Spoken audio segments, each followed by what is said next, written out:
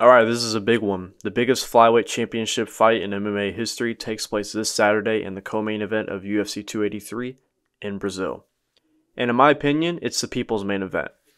This is a record-setting fourth fight between Deiveson Figueiredo and Brandon Moreno.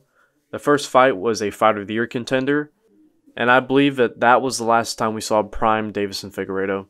In the second fight, Moreno looked new and improved and managed to submit the very timid Deiveson Figueiredo, who I believe had a very, very bad weight cut. And the last time in the trilogy, Deiveson, in my eyes, clearly won a 48 47 decision. However, a lot of people thought Moreno was robbed. And that to me just shows how much people were biased towards Moreno because he's the more likable guy. But even though Deiveson won and reclaimed his belt, I definitely don't see him beating Moreno in the fourth fight. Every time Moreno landed a shot, Figgy would be hurt, and it was really obvious.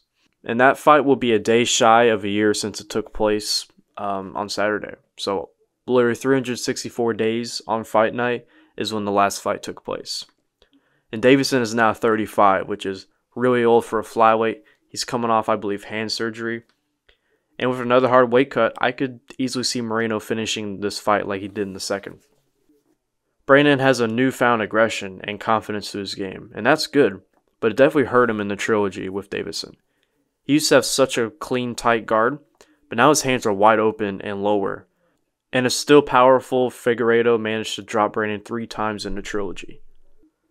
But Brandon is faster and way more fluid and creative in his striking since their first fight. And is still obviously a great grappler. I think this fight goes a lot like the second, where Deiveson has a rough weight cut and looks slow. And I could see Brandon taking the first couple rounds slowly because he fought really aggressively in the third fight and paid the price.